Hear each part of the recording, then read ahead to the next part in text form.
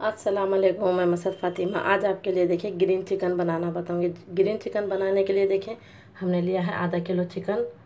ये देखिए हमने हाफ़ कटोरी दही लिया है। एक, दो मीडियम साइज़ हमने छोटी मीडियम साइज़ दो डली प्याज लिया है। चार बड़े चम्मच तेल लिया है, जो तेल है, हमने चार बड़े चम्मच इसीलिए लिया है क्योंकि उसमें प्याज भी हम फ्राई करेंगे। दो चम्मच अदरक लहसुन का पेस्ट लिया है। कभी भी चिकन का कोई भी आइटम बनाइए, उसमें अदरक लहसुन ज़्यादा ऐड करिए। एक नींबू, एक चम्मच लाल मिर्च पाउडर। ये देखिए, हमने ग्रीन कलर लिया है। ग्रीन कलर में हमने थोड़ा सा पानी मिला कर रख लिया है।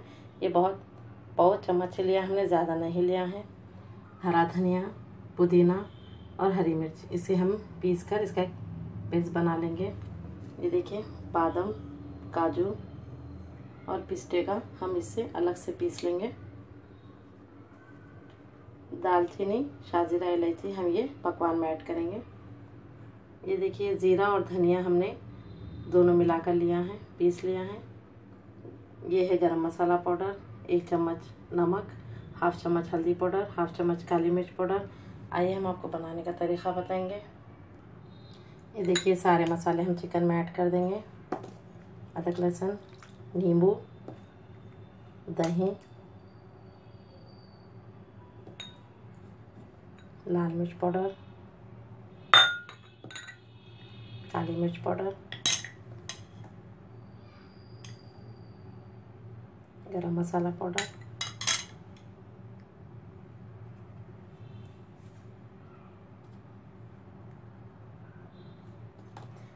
ज़ीरा धनिया डाल दिया है हमने, गरम मसाला पाउडर डाल दिए हैं। ये देखिए नमक। काली ये देखिए हल्दी। सारे मसाले हमने इसमें मिला लिए हैं। अब हम इसे अच्छे से हाथ से मिला लेंगे। इसका दही का पानी जो है, उसमें और दही में अच्छे से ये मसाले गल जाएँगे। ये देखिए, इसे अच्छे से मिला कर रखना है। इसे हम आधे घंटे के लिए रखेंगे। इसी तरीके से।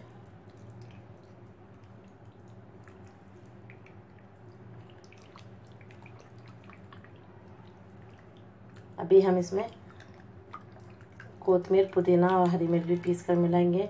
काजू बादाम का पेस्ट भी इसमें पीस कर मिलाएँगे हम अच्छे से। ये देखिए, अभी हम वो भी पीस कर इसमें मिलाएँगे।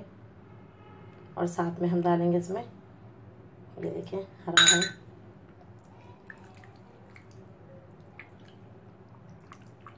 बहुत अच्छी रेसिपी है ये फ़ंक्शंस में। कहीं भी बहुत ज़्यादा बनाते हैं हैदराबाद में। आप भी बनाइए, बहुत टेस्टी रेसिपी है ये। रोटी से, चावल से भी आप खा सकते हैं। ये देखिए, हम इसमें मिलाएँगे कोतमीर पुदीना और हरी मिर्च। पीस लिया हमने। ये देखिए, काजू और बादाम। पिस्ते को भी हमने पीस लिया है। इन सारी चीज़ों अच्छे से मिला लेंगे। बहुत ही अच्छी रेसिपी है, आप ज़रूर ट्राई करिए, इंशाल्लाह आपको पसंद आएँगी। आप इसे ज़्यादातर हाथ से ही मिलाइए, जो मसाला है चिकन में अच्छे से मिलना चाहिए।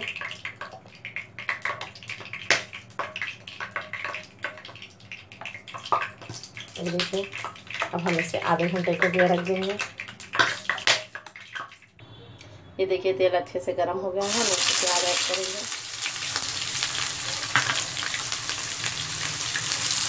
प्याज को अच्छे से ज्वाइन कर लेंगे हम।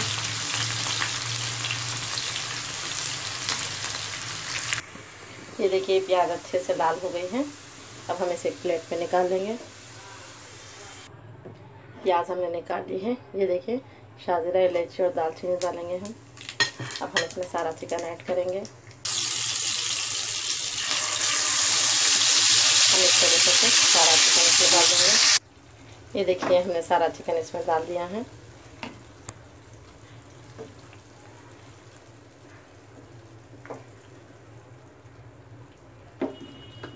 इसे हम, ये देखें इस पे आँच पर 10 मिनट के लिए रखेंगे ढाँप कर।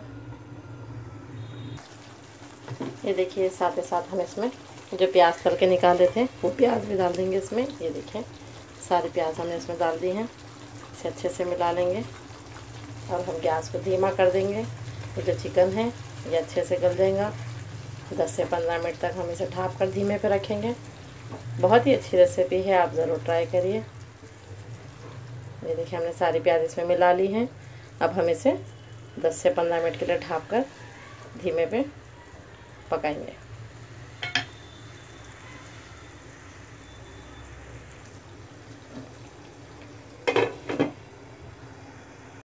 ये देखिए, चिकन अच्छे से गल रहा है, धीमे पे हम अच्छे से पका रहे हैं इसे, चिकन और गलने का है इसमें। देखिए अच्छे से बीच बीच में हम हिलाते रहेंगे।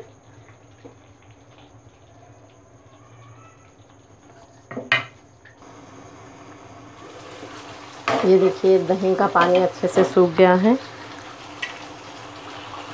तो देखिए, अब हम इसे स्पीड आँच पर अच्छे से भूनेंगे 10 से 15 मिनट तक।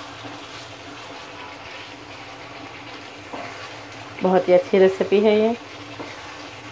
अब हम इसे स्पीड आँच पर अच्छे से भूनते जाएँगे स्पीड आँच पर। ये देखिए, ये जो सारा मसाला है, अच्छे से भूनेगा।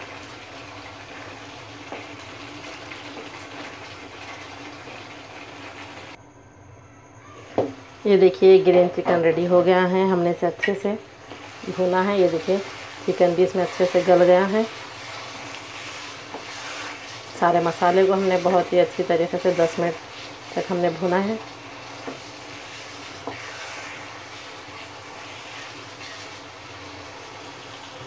अब हम इसमें डालेंगे हाफ़ नींबू। एक नींबू हमने ऑलरेडी चिकन में ऐड कर दिया था। ये देखिए, हाफ़ नींबू हम इसमें डालेंगे। थोड़ा सा नमक ऐड करेंगे। पाव चम्मच। अब इन सारे चीज़ों को मिला लेंगे।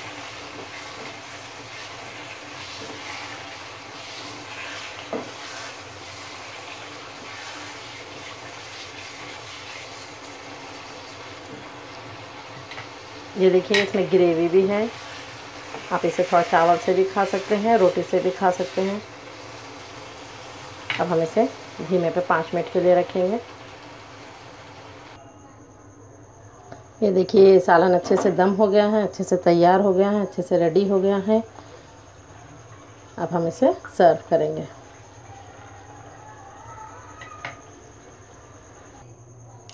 रेडी हो गया है ग्रीन चिकन। ये देखिए, बहुत ही अच्छी रेसिपी है। आप लोग ज़रूर ट्राई करिए, इंशाल्लाह आप लोग ज़रूर पसंद आएँगी। प्लीज़ मेरे चैनल को सब्सक्राइब करिए, मेरे वीडियो को लाइक करिए, मेरे वीडियो को शेयर करिए। इन नई रेसिपी के साथ फिर मुलाकात होंगी। अल्लाह हाफिज़।